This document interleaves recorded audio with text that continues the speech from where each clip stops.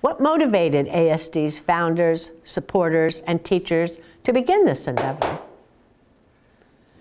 In the early 1800s, many Americans were experiencing a religious revival known as the Second Great Awakening, which emphasized missionary work and evangelism.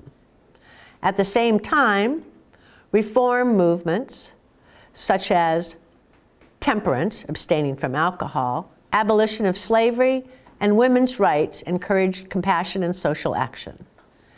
Many of ASD's first teachers were graduates of Yale, whose president, Timothy Dwight, promoted a vision of a moral and virtuous society.